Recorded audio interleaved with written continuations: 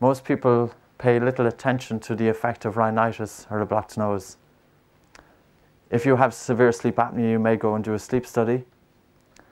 You spend the night hooked up to various monitors. They monitor the apnea during the night. And the next morning you wake up and then you're directed to a machine, a CPAP machine. 50% of people give it up after about a month. They're not able to use it. This here is a crucial link. I would always, always say to people is try and address your own issues first. Try and help yourself. And recognition of the, the, the effect of open mouth breathing on children and adults during sleep is, is the first step. So here we look at papers. I don't want to bore you, but I just want to show you that there's quite a bit of evidence behind it. This paper is published in the Journal of Allergy and Clinical Immunology. It's entitled Nasal Obstruction as a Risk Factor for Sleep Disordered Breathing. Sleep disordered breathing includes snoring, sleep apnea, and insomnia. They're the three um, components that would make it up. And in quotes, men and women with nasal obstruction.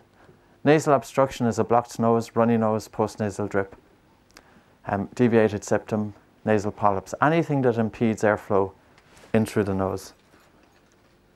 Especially chronic nighttime symptoms of rhinitis are significantly more likely to be habitual snorers.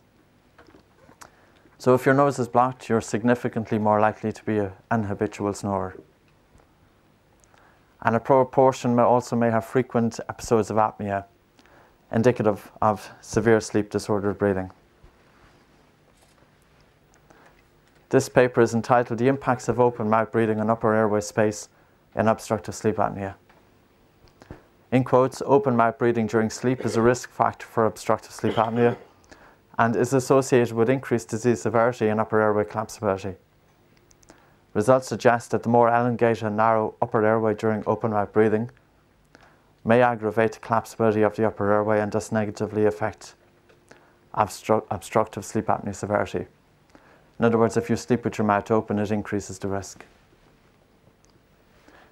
This paper is entitled Chronic Nasal Congestion at Night is a Risk Factor for Snoring in a Population-Based Cohort Study in quotes, nocturnal nasal congestion is a strong independent risk factor for habitual snoring, including snoring without frank sleep apnea, so snoring alone.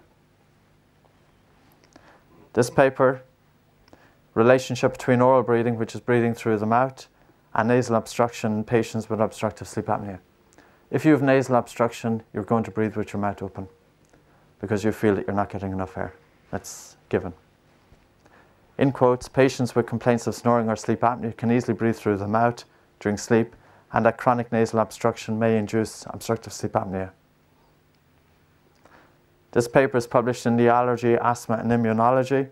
In quotes, in predisposed individuals, obstructive sleep apnea, sleep fragmentation, and the sequelae of disturbed sleep often result from nasal obstruction. Since breathing through the nose appears to be the preferred route during sleep, Nasal obstruction frequently leads to nocturnal mouth breathing, snoring, and ultimately to obstructive sleep apnea. Another paper is published in Sleep Medicine. In quotes, the presence of nasal obstruction will most likely have an impact on the severity of sleep disordered breathing. Identification of nasal obstruction is important in the diagnostic workup of patients suffering from snoring and sleep apnea. Another paper it's entitled Allergic Rhinitis Induced Nasal Congestion, Its Impact on Sleep Quality. In quotes, nasal congestion, which is one of the most bothersome and prevalent symptoms of allergic rhinitis, is thought to be the leading symptom responsible for rhinitis-related sleep problems.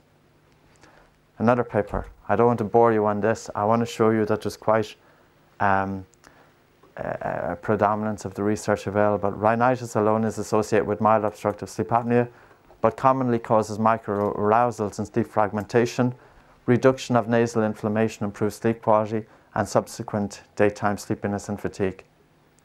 So if you find that you're sleepy, you need to ask the question if you're sleeping with your mouth open. And it's as simple as that.